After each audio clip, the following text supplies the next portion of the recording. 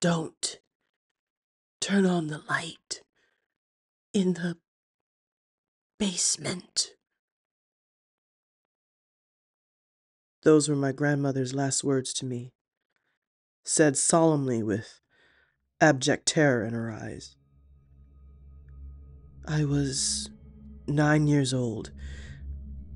She seemed like a decrepit monster to me then. A nearly toothless, broken skeleton wrapped in weathered skin, possessing thickly hideous knuckles that cracked whenever she moved her long, pale fingers. My dad inherited her house after she died. There was seemingly nothing special about it, just an old brick house in a once wealthy neighborhood. You know, she tried burning this place down, my dad told me one day. Apparently, it just didn't take. She never did try selling it, though. When we moved in, the door to the basement was boarded up. Odd, but not alarming. We left it alone for a while, busy with other things.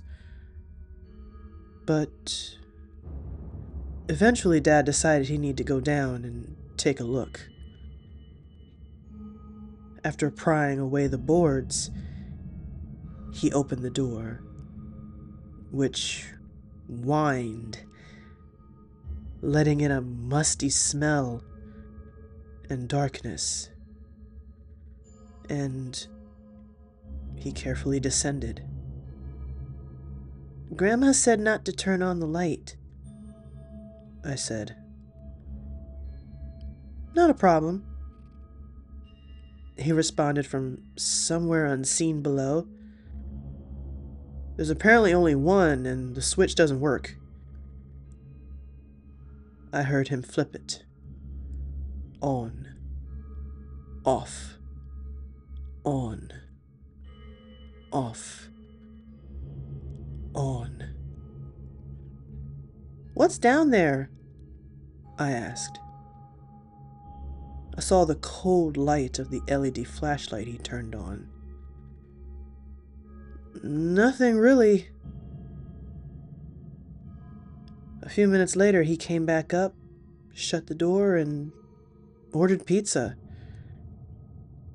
Not sure why she bothered boarding it up, he said, chewing on a slice. No reason for us to go down there, though. Maybe if we ever run out of storage space. And so, we left the basement alone. Again.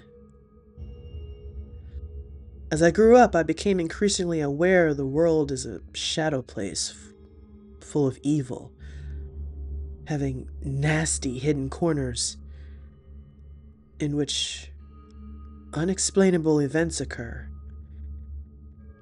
hinting at the supernatural. For a long time, I considered this a normal part of becoming an adult. Something everyone goes through. When I was 17, I started a part time job at a retirement home. It was there I met Father Akinyemi. He had known my grandmother, and I found that I enjoyed talking to him. Despite being almost 90 years old, he kept an open mind and listened whenever I explained my existential dread to him. Your grandmother, she believed in evil, he said one fall day. Physical evil. Monsters.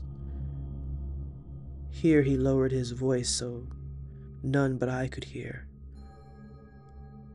She confessed once that within her house, in the basement, if memory serves, there was a light switch.